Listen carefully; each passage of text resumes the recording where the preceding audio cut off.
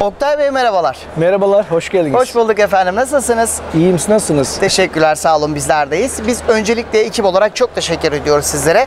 Bizleri burada misafir ettiniz, ağırladınız. Çok sağ olun, çok teşekkürler. Ve röportajımıza da öncelikle Oktay Bey'i tanıyarak başlayalım. Sizleri tanıyabilir miyiz sektörle tanışmanız? Sektörle tanışmamız biz küçüklükten beri baba mesleği. Ee, bu işin içerisindeyiz. Çekirdekten yetişmeyiz. Bildiğimiz iş bu e- ev tekstili, home tekstil. Evet, babadan aldık bayrağı. İleriye doğru taşımak için aslında var gücünüzle çalışıyorsunuz. Evet. Diyebiliriz. Neler yapıyoruz peki? Biraz firmanızdan bahseder misiniz? Verdiğiniz hizmetler nelerdir? Ürünlerimizde neler var Oktay Bey? Firmamız Denizli'de bulunmakta. Ee, üretim yerimiz var.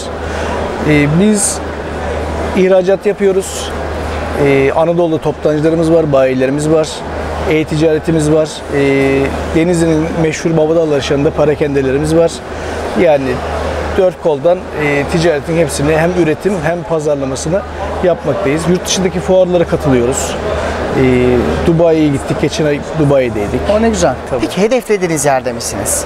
Hani değiliz. Yani hedeflediğimiz yer zaman. değil diyen zaten yerinde sayar. Ee, hedefimiz daha gelmedik hedeflediğimiz yerlere. O yüzden fuarlara çok katılıyoruz. Biz olduk demiyoruz. Devam ediyoruz yani. Teknoloji de gelişiyor çünkü. Yani insan kendini sürekli, sürekli yenilemek zorunda. Arge'ye çok önem veriyorsunuz Önem tabii veriyoruz.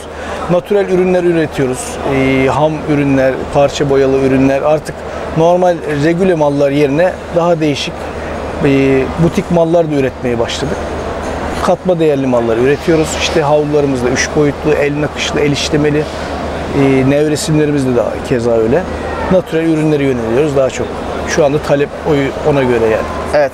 Aslında e, biz bu hedeflerinizin de başarılar dileyelim sizlere. Teşekkür E, ederim. Ekran başındaki izleyicilerimizi de buraya davet edelim. En azından hem gelirler, ürünlerinizi görürler, bir çayınızı, bir kahvenizi içerler. Buyurun gelin inşallah. Buyursunlar gelsinler. Ben vermiş olduğunuz değerli bilgilerden dolayı çok teşekkür ediyorum. Başarılarınız daim olsun. Ben teşekkür ederim. Hoşçakalın efendim. Sağ olun. Sağ olun. Sağ olun.